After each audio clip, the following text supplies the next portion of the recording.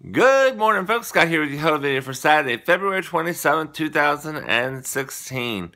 It is a Cars and Coffee week, so we are serving uh, chicken biscuits, chicken minis, hash browns, and um, orange juice and coffee for breakfast this morning. So, what can we do with chicken biscuits and chicken minis and hash browns to increase our um, ticket average. Hmm. Well, what we can do with that is we can always add if they ask if they want to add bacon or cheese or both to their biscuits. Or if they just want a cheese biscuit, we could do that. Or just a bacon biscuit, we can do that. Now, that is one way we can increase. Um, that is that's the way we can increase our ticket average for Saturdays, every other Saturday. Also, coffee. Would you like a large coffee with that? Instead of a medium or a small.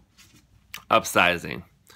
So, uh, with that being said, something else that's going to be that you guys have to have before you leave your shift, and you have to write it on the wall, is a CDD. Now, we've been talking about CDDs and what they do and the importance of them and how we can use them to benefit us as at Chick fil A. so, today, uh, everyone is required to get at least one CD, CDD and write it on the wall. So it shouldn't be very difficult. It should be a relatively busy day.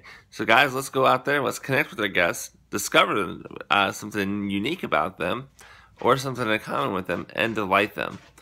Uh, you can delight somebody that's having a hard day, give them their meal free, or somebody that has a unique um, similarity to you, delight them or somebody that you know hey you appreciate what they do.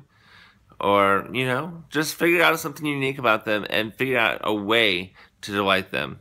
So guys let's go out there. Let's make it happen. Have a great day and i will see you tomorrow. Uh, see you on monday. Have a great weekend